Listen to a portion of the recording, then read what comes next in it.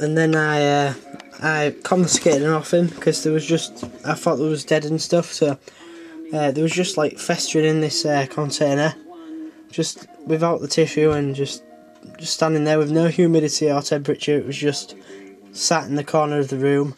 So um, I just took it into my room.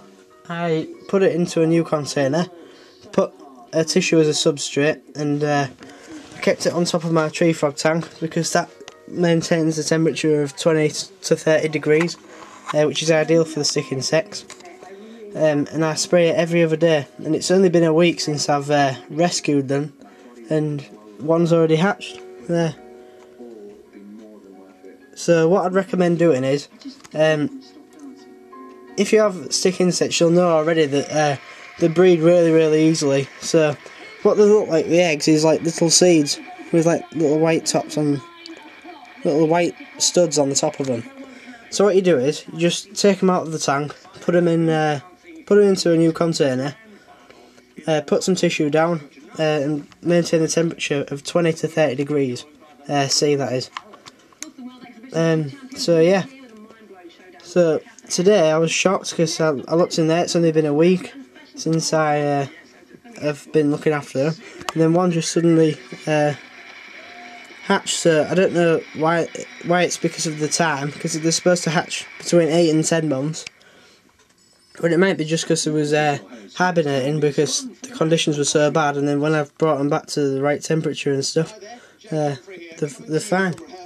So that's how to look after your uh, your eggs anyway. Now moving on to the hatchlings. Uh, for stick insect hatchlings, what you want to do is you want to just get a container. Oh yeah, with regards to that as well, you need to make sure there's a lot of air holes there as well.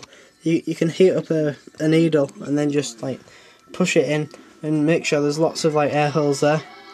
So, but with this I couldn't really be bothered and uh, I was a bit scared of whether it'd get out the holes so I just used a, a cricket box and cleaned it all out because I freed my frogs crickets and then yeah that's it. So what I'd recommend doing is just get them in a cricket tub, uh, wash it out, label what date they hatched, uh, lay down some tissue, uh, spray the tissue, then put some of this, uh, you can either feed them privet leaves, which is what I've got in there, because I've got a big bush of it, uh, bramble leaves, eucalyptus leaves, uh, there's quite a lot of stuff, but you'll find out more on the internet. And then just make sure they're on a temperature between 20 and 30 degrees. And make sure the humidity's up, so just spray the tissue and then it'll be fine. So give it a week, and then if there's any feces or whatever on the tissue, then you can uh, you can take the tissue out and uh, replace it. So that's it. I'll just get him out now. Um,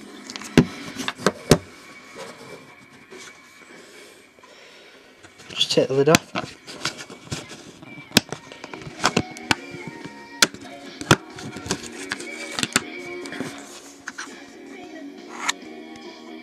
There we go. There he is.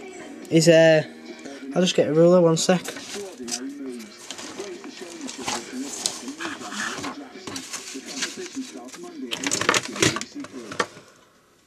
Wait, just pauses.